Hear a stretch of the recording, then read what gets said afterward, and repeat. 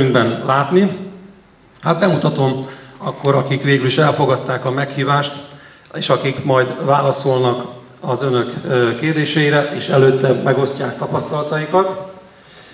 Köszöntöm körünkben Kalocsai Gábor ügyvéd urat,